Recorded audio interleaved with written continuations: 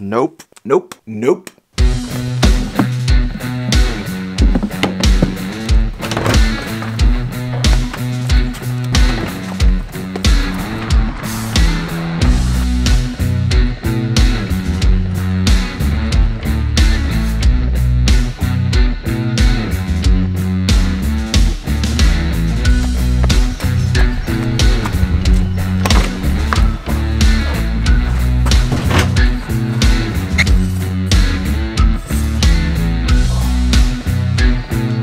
I still absolutely hate running.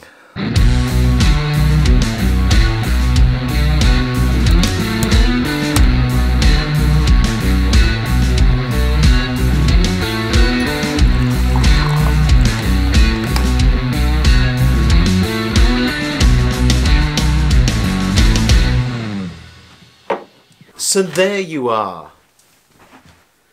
No. What? You know what? I don't. We are not doing this again. But we haven't done it in ages. For very good reason. Last time we started with two Johns, and before you knew it, there was like 10 different Johns. And a talking cactus. I'm a succulent. Don't you start. But people loved Zach. No, they didn't. The analytics literally show people clicked off as soon as they realised they were watching someone talking to a pissing cactus. Okay, so don't talk to the cactus. Oh, I won't be, and I won't be talking to you. Why not? Because the channel's moved on. We've got way more subscribers and we do vlogs now. No one remembers the old sketches. So why have you written a whole script for this sketch? Don't mention the script, that spoils the illusion. But you include the line about the script in the script, as well as this line.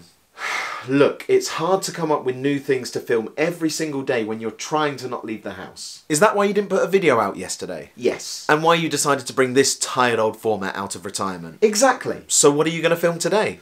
I don't know. So have you filmed working out yet? Yep. Time lapse? Yep. Coffee? Of course I've included coffee. What about shots of your hand opening doors? Look, I've done all the usual things. I'm completely out of ideas. Well then, there's only one thing for it. What's that? Tier list. Surely not. Why not? Everyone loves a tier list. I'm not sure that's true, and even if it was, what would I do a tier list on? Didn't you buy celebrations yesterday to top up the megatin? Why not rank them? Isn't that a bit too similar to the Heroes one?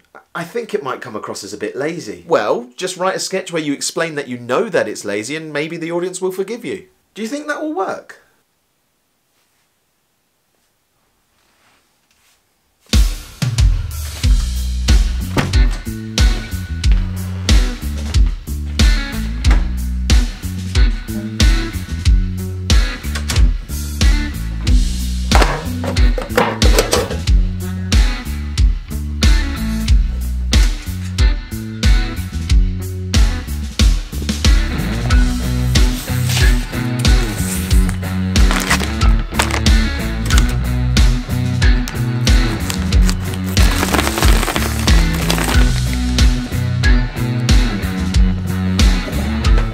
So it is time for yet another festive chocolate tier list. Today we are doing celebrations. Now I've just realised that there's only eight celebrations whereas there was 12 different varieties of Quality Street. So it may be a little shorter but let's uh, jump right into it. And we're going to start today with the chocolate that started it all off for the Mars Company.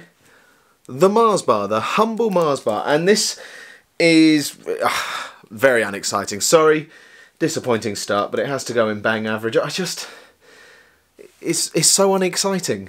It's just sort of a meh chocolate. So uh, sorry, Mars. You know, I, I I like you, but you know you're a bit boring. Next up is a Galaxy. Now I can't decide if I prefer dairy milk or if I prefer Galaxy chocolate. I think I might prefer dairy milk, but there's not a lot in it. I know that a lot of people in my family prefer the Galaxy.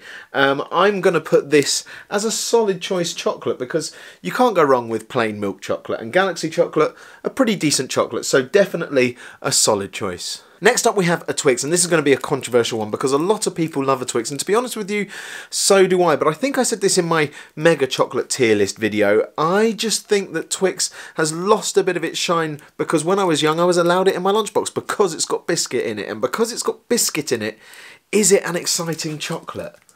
I think when it comes to the celebration tin, I'm not excited by that. That is meh. Sorry, Twix, you are tasty. I do like you, but as a celebration, meh. Next up, we have the Galaxy Caramel. As you saw, the Galaxy plain dairy milk chocolate in solid choice. If you've watched any of my chocolate tier lists before, this won't be a surprise to you.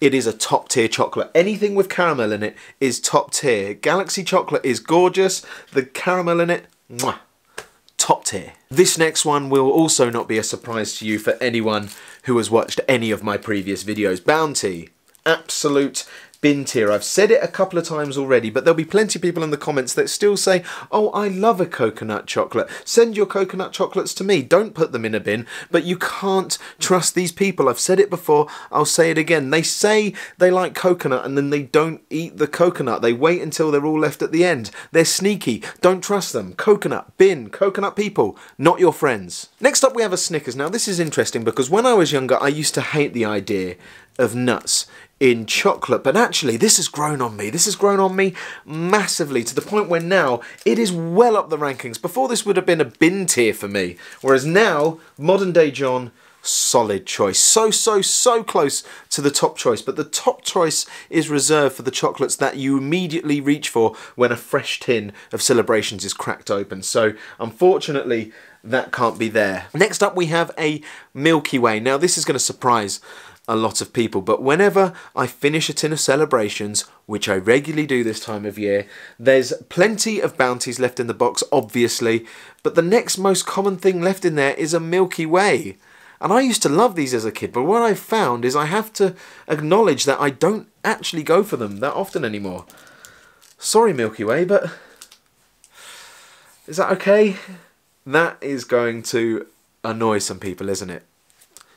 Sorry. Which means we're down to the next chocolate, the Malteser Teaser. Um, Charlie's opinion on these. Actually, I'll go ask Charlie her opinion.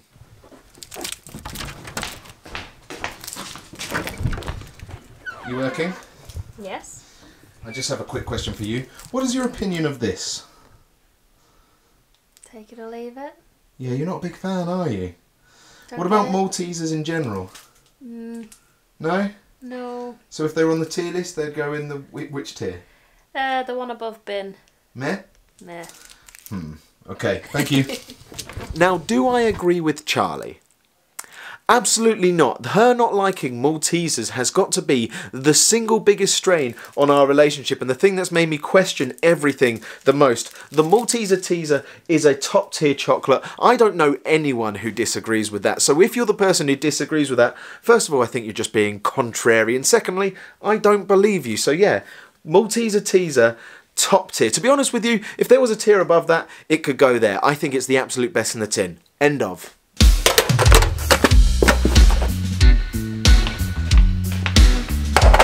So there you have it. The Megatin is overflowing again, and we have another festive tier list. And the Malteser Teaser has come out as the king of celebrations. And I'm going to put it out there the king of all chocolates that you can get in a tin at this time of year. And if you disagree with me, you can let me know why in the comment section down below so I can understand why you're wrong. And if you haven't hit the subscribe button yet and become a baby John, then please do and help me get more BJs. Did you like the video? Hit the like button if you did. If you dislike it, then dislike it. Subscribe again if you haven't already. And of course, until next time, let's celebrate this piss off. The boy John, the boy John, the boy John.